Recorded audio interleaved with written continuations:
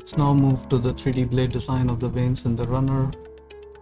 So this is the setup for the baseline Francis turbine stage in our 3D inverse design software TURBOdesign 1 and these axial core distributions for the stay vane, guide vane and the runner they all come from the meanline code as we saw earlier and the span-wise work distribution for each of these components uh, is actually free vortex uh, so it has a constant value from hub to shroud and as we can also see here the RVT star of the downstream leading edge is uh, always kept the same as the uh, as that for the upstream trailing edge.